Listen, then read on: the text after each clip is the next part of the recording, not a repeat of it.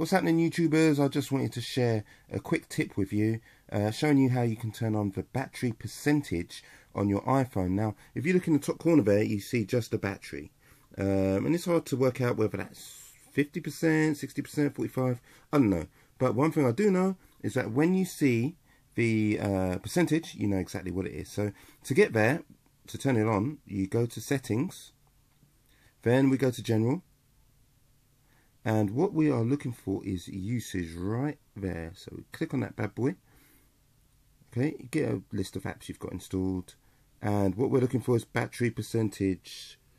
Swipe that one. There we go that is on. So if I return out of the menu for general menus and look in the top right corner percentage. Hopefully you can pick it up with this camera it's not great but it's 61% uh, so hopefully if you haven't got your percentage turned on and you want it on, you can do so now.